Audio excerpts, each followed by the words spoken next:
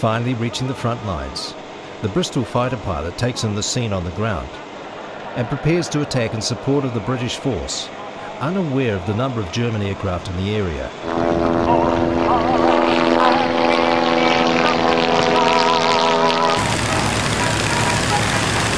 Ever vigilant, several of the triplane pilots spot the lone Bristol and turn to attack the British aircraft.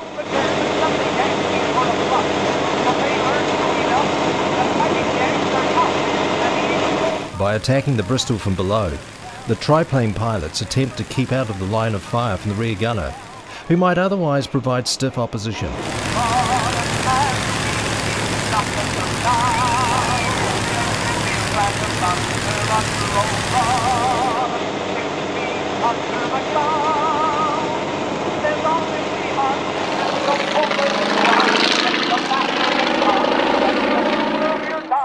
Heartened by the arrival of the Royal Flying Corps, the British troops advance on the German gunners, despite the fact that they remain under attack from two of the triplanes.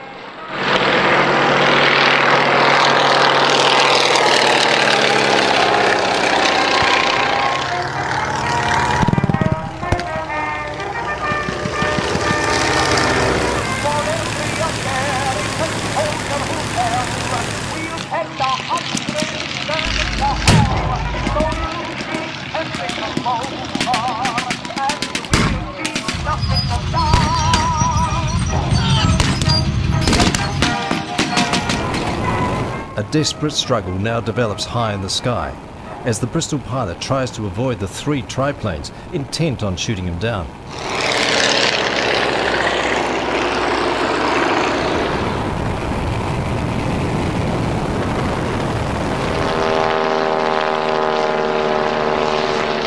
Able to turn in a tighter circle than the triplanes, the Bristol manages to remain just out of reach of the German guns, at least for most of the fight.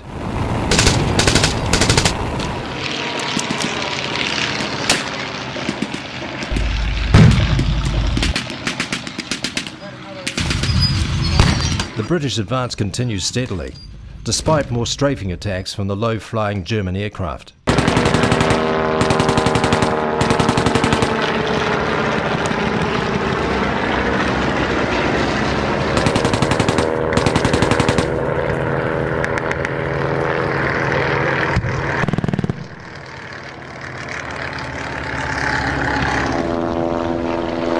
High above the ground, the Bristol continues its struggle to avoid becoming another of the Red Baron's string of victims.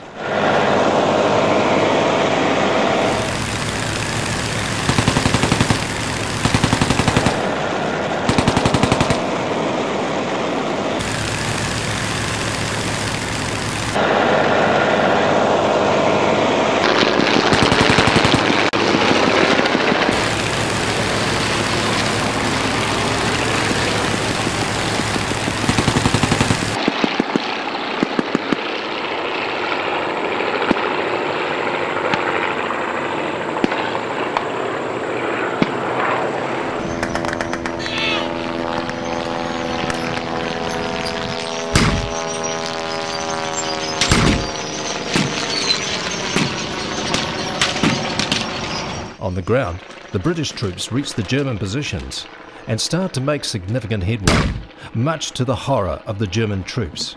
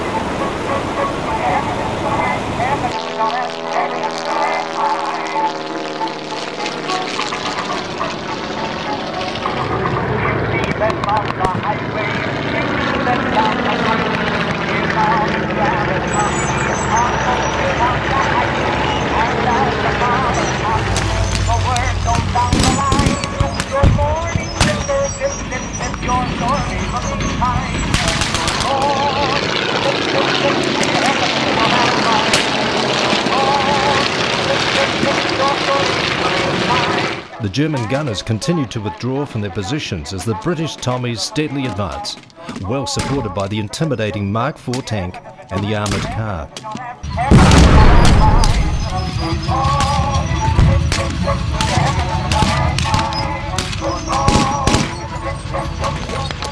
Better late than never, the French Nieuport finally arrives on the scene to chase away the low-flying triplanes, who are now short of fuel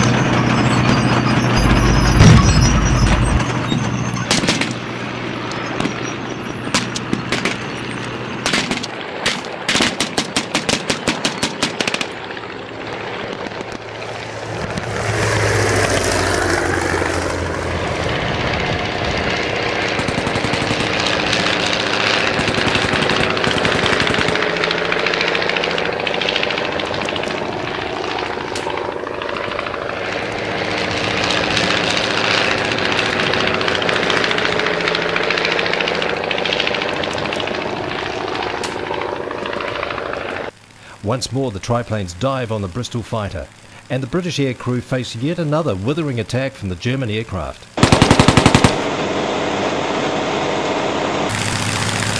This time, however, the British have some success, as the gunner brings his guns to bear on Hans Kirschstein's aircraft.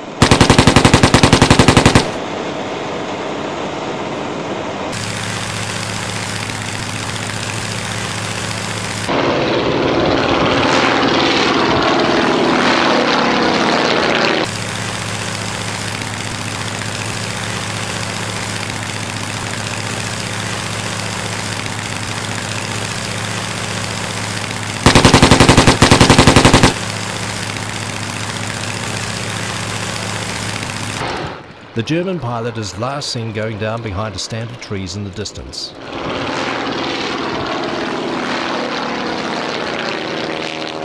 Capturing the first of the German field guns, the British soldiers still face stiff opposition from the German troops.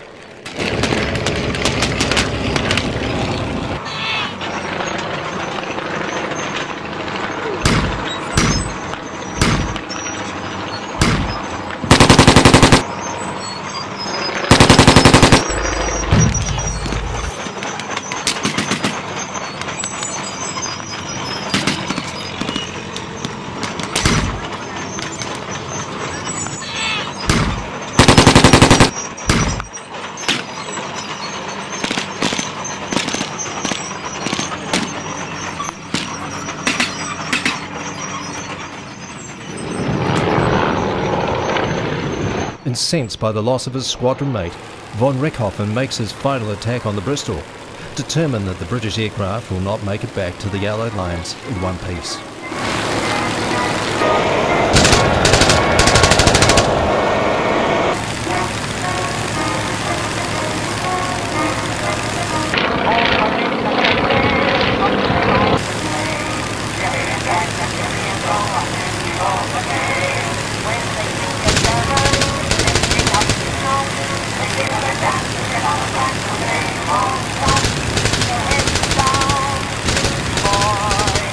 Kempf also gets a few shots in at the Bristol, and the British aircraft is finally shot down.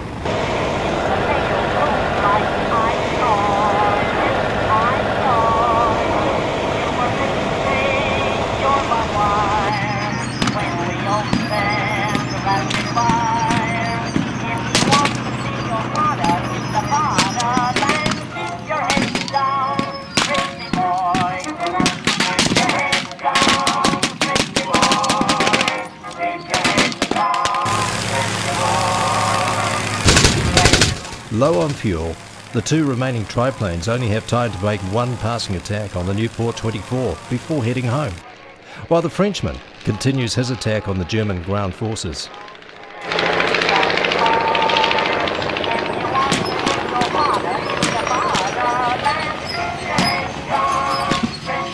Facing attack from the air and overwhelming odds on the ground, the German troops make one last desperate counterattack.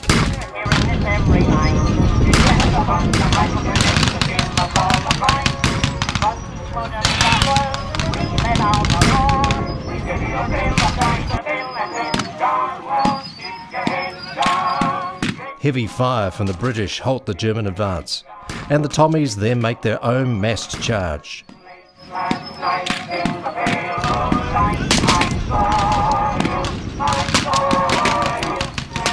This is the final straw for the Germans, who now have no option but to surrender.